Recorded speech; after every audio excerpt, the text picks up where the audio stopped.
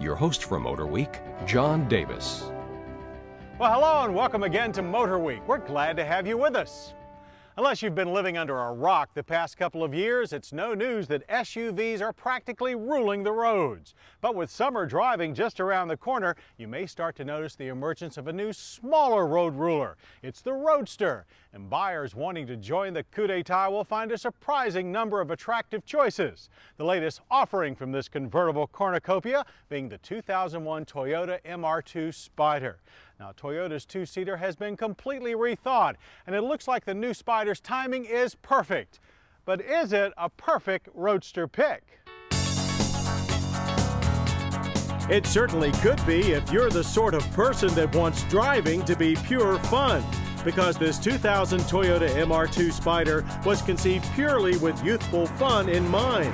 Designed from the ground up to appeal to younger buyers, the 2000 MR2 maintains the two-seat mid-engine rear-drive layout of its predecessors, but opts to go the ragtop route this time around. The MR2's look is almost unbearably cute, but auto trivia buffs will note that it bears a strong resemblance to the English-built Midas Gold Cabriolet of the 1980s, not to mention a variety of auto show concept cars since and sits on a comparably short wheelbase of 96.5 inches. Overall length is only 153 inches. This tiny 2,200 pound package is propelled by the same 1.8 liter twin cam 16 valve four cylinder engine with variable valve timing found in the Celica GT. In the MR2, it sits above the rear axle and makes a slightly reduced 138 horsepower and the same 125 pound feet of torque which is then fed through a firm but accurate 5-speed manual shifter. No automatic is available. No kidding. With a true sports car manual shifter in hand, we launched the MR2 to 60 in a spirited 7.1 seconds and through the quarter mile in 15.3 seconds at a respectable 90 miles per hour.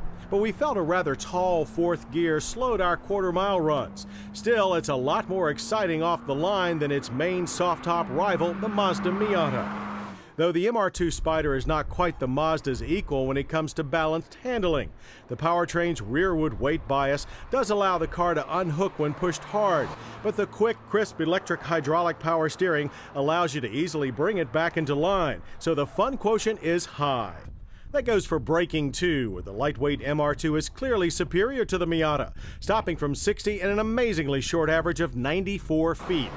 The ABS-equipped disc bit hard, while the chassis remained straight as an arrow. Pedal feel was also first-rate.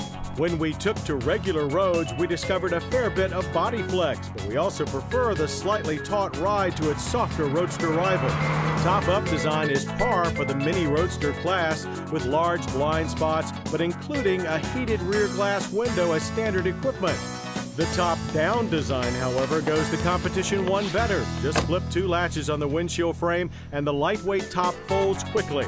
But then it latches easily in place, thus eliminating the need for a hard-to-fit tonneau cover. Very clever. A small flip-up wind deflector helps reduce buffeting in the cockpit. Dropping the top opens up an interior that is surprisingly wide and well equipped for such a small two-seater. Most interior dimensions, including hip and shoulder room, are superior to Miata and as good as some small sedans. The bucket seats are a bit on the firm side but offer adequate back support, while the large but not quite comprehensive white face gauges make for easy high-speed reading. Heat and ventilation controls are clear and easy to reach, but the standard CD and cassette equipped stereo is set too low for easy operation, negating its well-designed controls.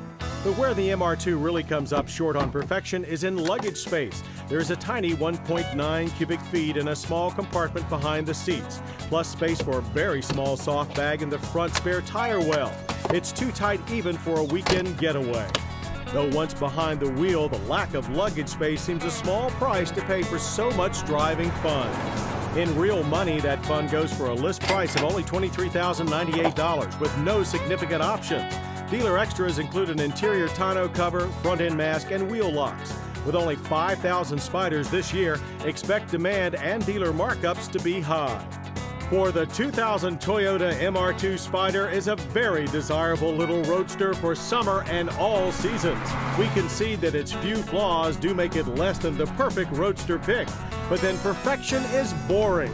And boring is one thing you'll never be able to call the 2000 Toyota MR2 Spyder.